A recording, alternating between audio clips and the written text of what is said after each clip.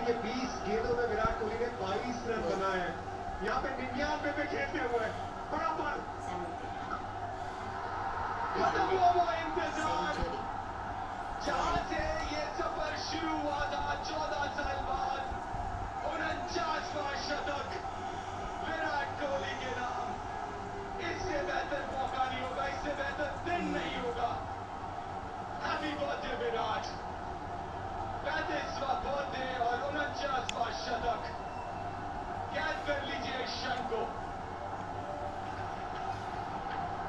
बहुत बड़ा पल विराट कोहली के लिए, भारतीय फैंस के लिए, ये विश्व कप का शतक है। महान सचिन तेंदुलकर को कंधे पे उठा के चलने वाला आज ये खिलाड़ी, उनके साथ कंधे से कंधा मिला के खड़ा हुआ है। उनचास शतक विराट कोहली का। लाइडन पर ये लम्हा